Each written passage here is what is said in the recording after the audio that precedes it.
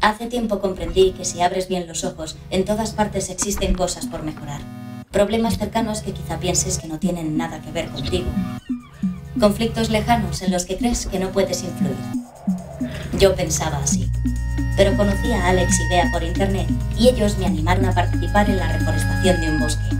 Allí descubrí lo importante que es llegar a formar parte de algo en lo que crees. Experimenté el valor que tiene no quedarse al margen y participar, involucrarte para hacerlo crecer y llegar incluso a solucionar lo que en un principio parecía imposible.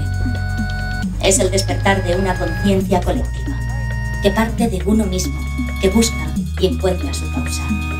Encuentra tu causa y muévete. Hazte voluntario.